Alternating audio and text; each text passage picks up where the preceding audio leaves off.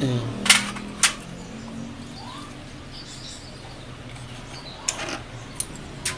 sembilan empat tiga. Sembilan empat enam. Sembilan empat lima. Sembilan empat empat. Jadi ini ada yang kurang atau sudah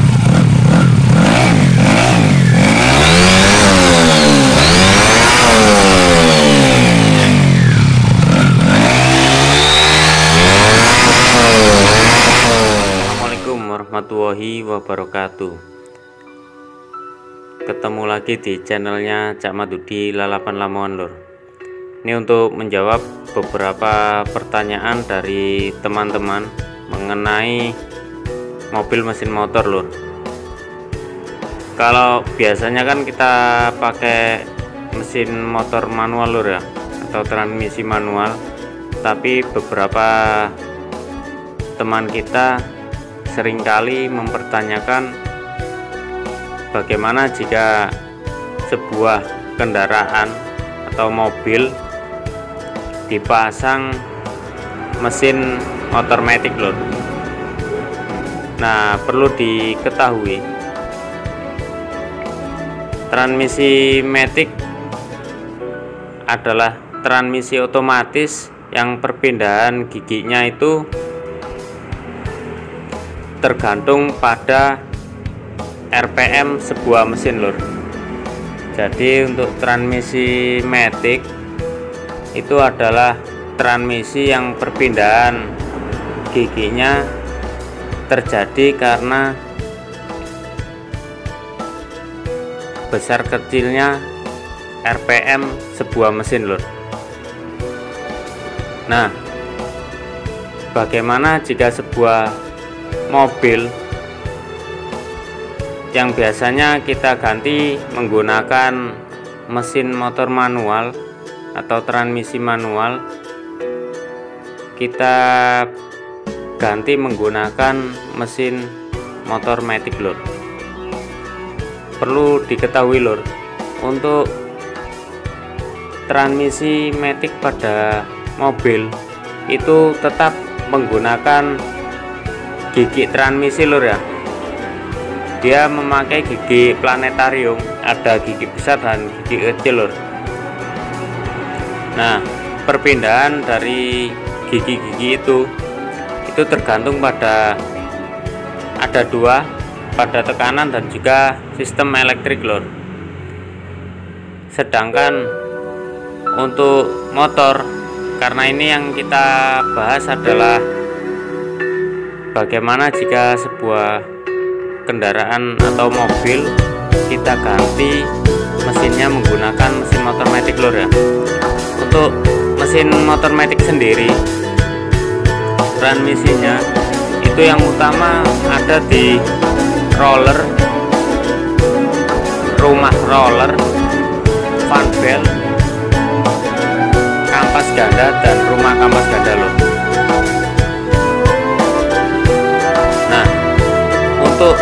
matic pada motor sendiri lor ya itu perpindahan giginya yang di askrek itu lor yang ada roller dan rumah rollernya itu. Ketika RPM rendah dia akan fanbelnya akan berada di posisi paling kecil lor tapi ketika RPM tinggi secara otomatis rumah roller itu akan menyempit dan mengakibatkan fanbel tersebut secara otomatis bergeser ke atas. Jadi lingkar dari fanbel yang depan itu akan membesar loh.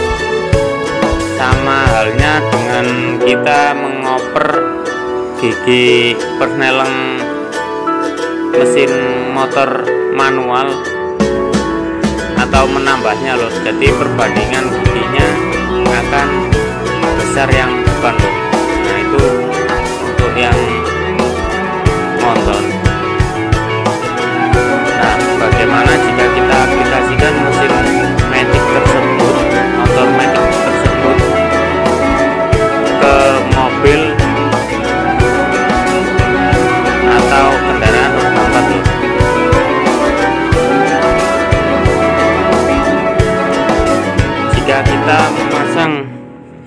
mesin motor metik ke mobil atau kendaraan roda 4 yang jelas fan bell itu tidak akan kuat lur.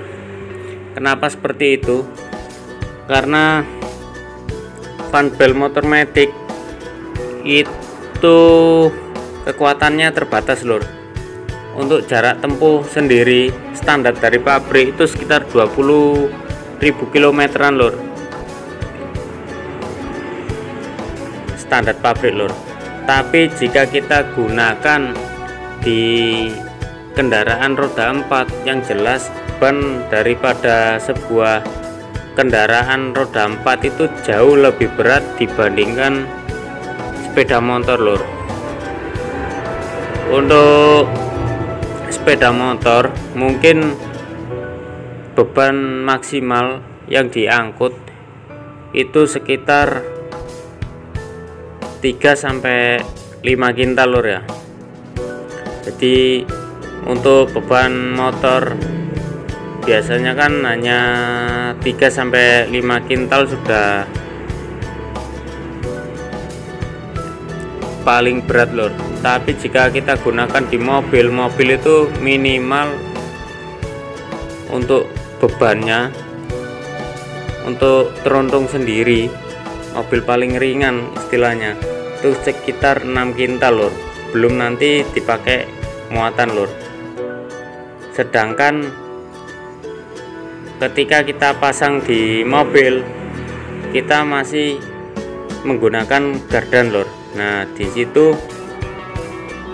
karena kita memakai gardan jadi misalkan empat putaran daripada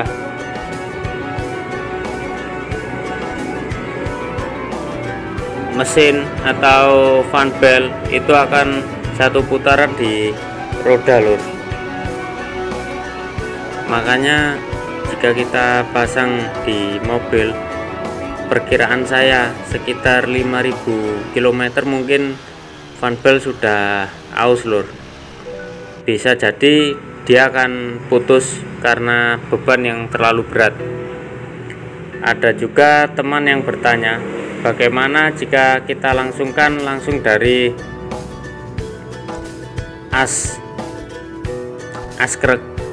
Nah perlu diketahui jika kita langsungkan di askrek maka kita tidak bisa menggunakan sistematik lor jadi kita mas hanya bisa menggunakan manual dan itu juga kita perlu perbandingan gear lagi karena jika kita masukkan satu putaran mesin masuk satu putaran ke transmisi.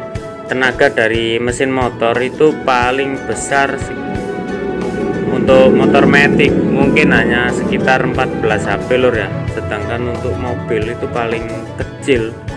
Teruntung itu paling kecil sekitar 30 berapa HP jadi jika kita langsungkan insya Allah tidak kuat lur karena perbedaan torsi dari mesin motor dan mobil lur.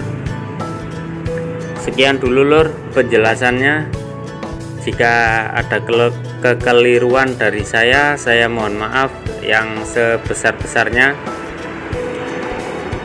Jika ada yang teman-teman yang ingin menambahkan penjelasan silahkan tulis di kolom komentar. Terima kasih Selamat berkreativitas tanpa batas. Assalamualaikum warahmatullahi wabarakatuh.